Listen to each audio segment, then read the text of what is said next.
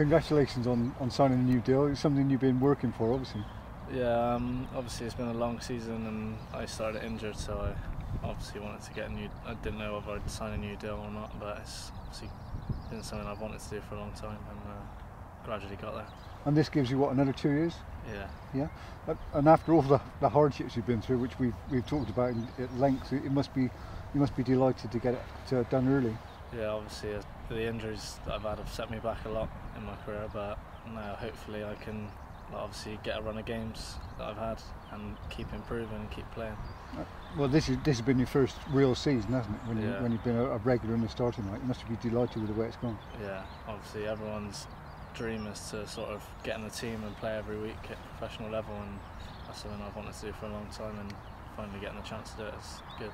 And you and Tom signing at the same time, you've been partners in crime in midfield there, haven't you? Yeah, um, he's sort of been changed around a bit, but I think him playing midfield that's his best position. We've uh, started building up a good partnership in that. Yeah. Do you feel you, you complement one another?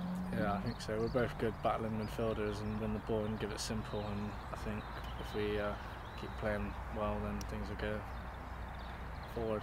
I know you, you told me that you feel you're, you're a defender first and foremost rather than an attacking midfielder, is that right? Yeah, well, I Or you pride yourself on the clean sheets? Anyway? yeah I prefer not to be just put into one bracket, but um, yeah, I do like the defensive work more so, sort of breaking up play, giving it simple, and then obviously if you can get forward and score a goal occasionally, hopefully. But clean Yeah. sheets are, are Yeah. something you take pride in. Yeah, because obviously if you, we've got some goal scorers in the team, and obviously if you keep clean sheets, you're more likely to win than you are. Dis- disappointing season for the team, it's been a good one for you. But uh, ten games to go. What do you think we can achieve?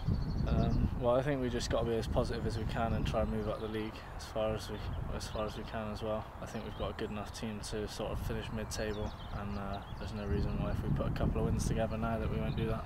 And a chance to build on that next season, hopefully. Yeah, obviously we if we can keep the majority of the players as well, and obviously we've got a lot of good young players here, so if they all sign on as well, then we'll uh, have a good chance next year. Right, congratulations again. Thank you.